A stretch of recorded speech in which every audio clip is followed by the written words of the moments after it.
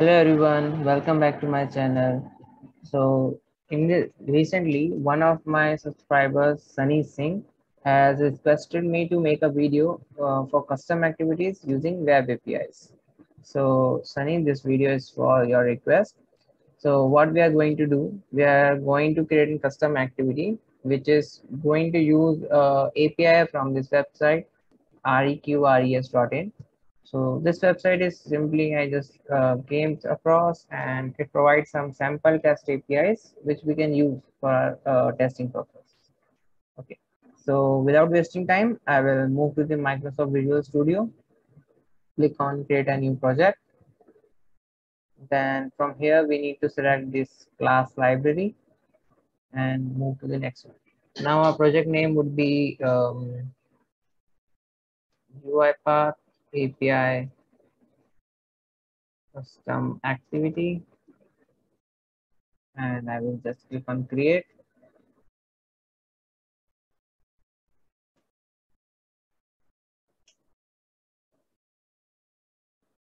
Okay. Now, as we have learned in the previous videos, we need to add two uh, specific references for this to work with UiPath. One is uh, system dot activities is this one. And then system dot component model dot composition. Okay so i will just add these. Now let's invoke these as well using system dot activities and using system dot component model. Okay now, one more activity while we are working with the APIs, we need this system.net uh, library. That would be using system.net. All right. Now, let's uh, the usual task that we do. we need to have an input argument and output argument for this activity. So I will call this as uh, API call activity. This would be the custom name. And for it to work with UiPath, we will invoke the code activity and will inherit the class code activity in this. Okay, now let's create uh, the code for getting the required input argument. So that is be our required argument. Then category would be input. Let's give it a description so for that uh, here for this one i am going to use this single user api so in which we just pass a certain digit number and will give you uh, some random data for uh, any user details okay? So our input would be um, user id i will just write uh, enter user id and now since it is a in argument so public in argument of type string.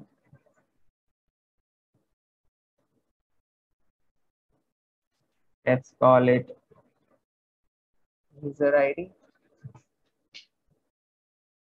and set. Okay. Now, similarly, we need to create an output argument, which would be uh, creating uh, containing the output response API response. So let's code it out.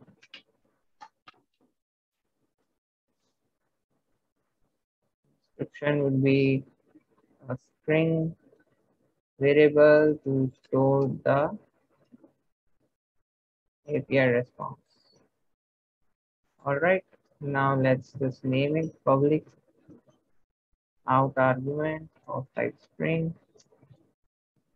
Let's call it API response and get set function. Now we need to create the override function, which is the, the exact the method which actually does the functioning. So let's call it protected override void execute. Now instead of this throw, we will implement a code. So first of all, I need to fetch that user ID. So that would be uh, let's call it uh, user number equals to of type string. That would be user id dot get context now i need to create a web request variable for the api so web request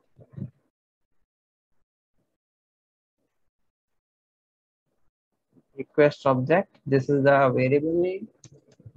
And i will just type web request dot create and in this we are going to pass out our url now this url is the api call that we are doing. So let's initialize it as well. String url equals to first will come let's copy this. So this is the format of the api so this is our url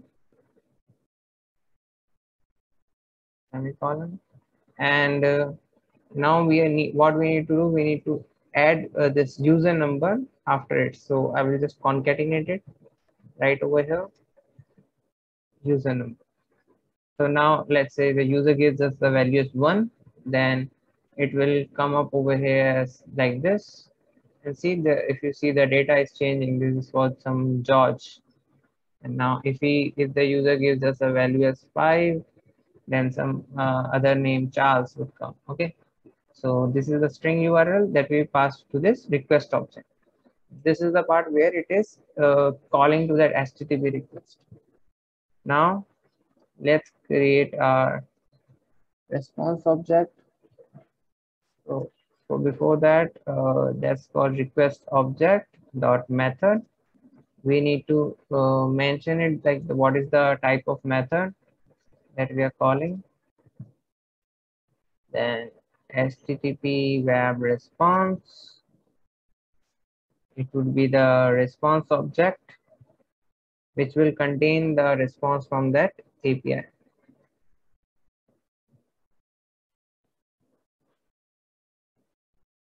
So response object would be equals to HTTP web response now let's retrieve the response from that request object. Get response. That is done. Now we just need to uh, the like this response object would contain the response from that API that we need to read. So I will just create a string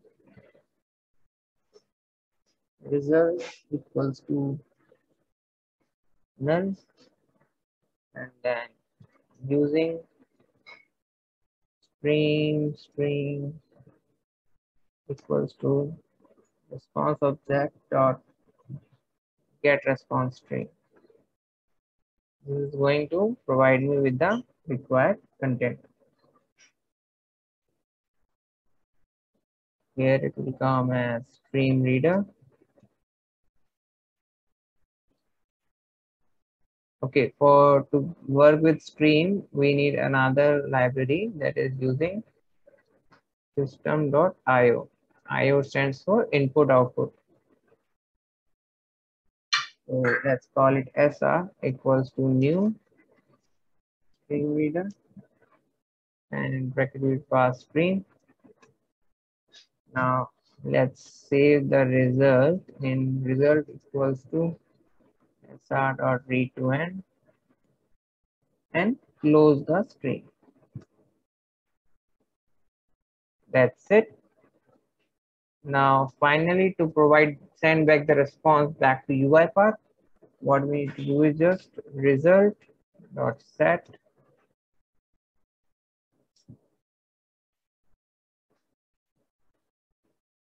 and text comma result okay is an incorrect uh, over here instead of result it would be api response. Okay that's it. We are done with the code. Now let's build it. Click on build solution. And while it is building i will open my nubkg package explorer. Okay. NuGet package explorer is open so let's copy this DLL path, by now, I guess everyone who is watching this playlist must be well aware of the facts, uh, the process that we are going to follow. I am going to create a lab folder over here, then add an existing file, paste the path, open. Then let's give it a name. It is get random user.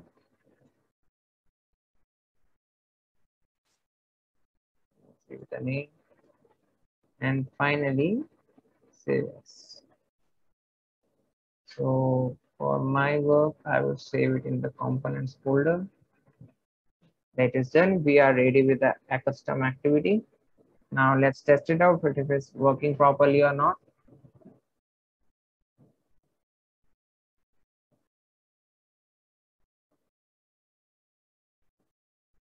I will just open any test process with me.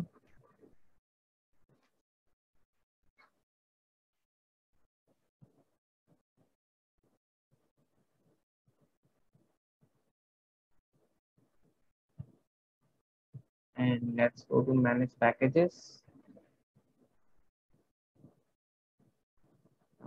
Download components. So this download component, it might it may come, it may not come in your managed packages. If it is not visible there, please add the source path of this. Uh, probably in the first video, you would be able to find the process for it. So this is the get random user details, the package that we have just created. Let's just click on install and save it.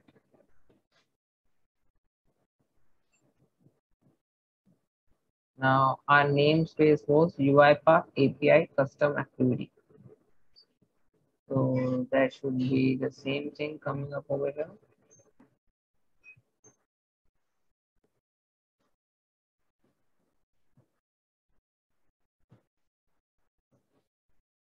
And guys, uh, if you're not yet subscribed to my channel, please do like, share, and subscribe it. So over here in the activities projects, you can see over here UiPath API custom activity is visible, same as the namespace of our uh, code. And this is a class name API call activity. So let's just invoke it. Now it is asking for a user ID. So let's give it to and some API response. So I'm just going to create a variable. Now let's use a message box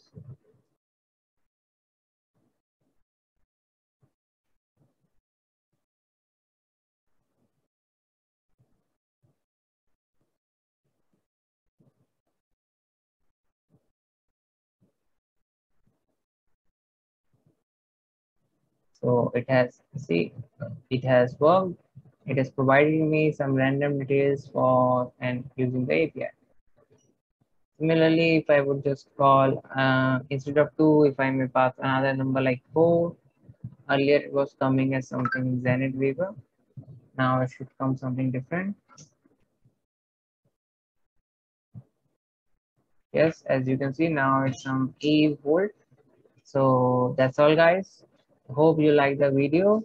Do like share and subscribe to uh, my channel please. And if you have got any doubts or any video you want to be made for any particular topic do reach out to me on linkedin or in the youtube comment section.